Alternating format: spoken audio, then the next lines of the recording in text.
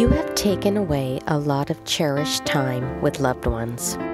We've missed out on a lot of celebrations and everyday activities graduation,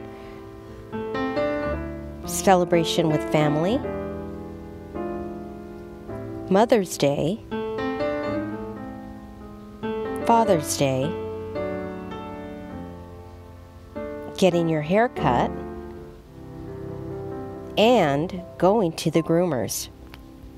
Some would say it's been a roller coaster of emotions, and all you want to do is sleep. There are some things that you cannot take away. You have forced us to think of creative ways to celebrate.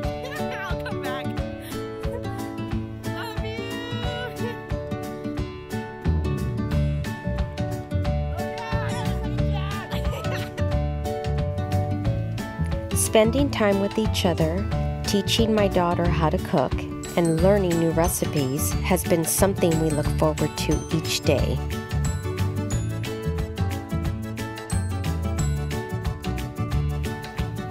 Along with attempting to entertain ourselves.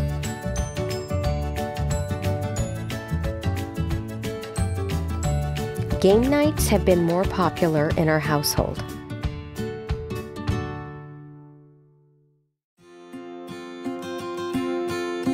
Exercise has not been a priority, and some need a little coaxing, so we help them out.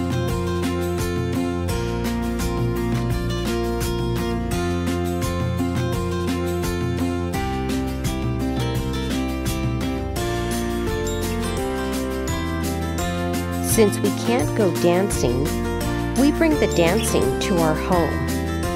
No matter how ridiculous the dance moves might be, it just feels good to laugh.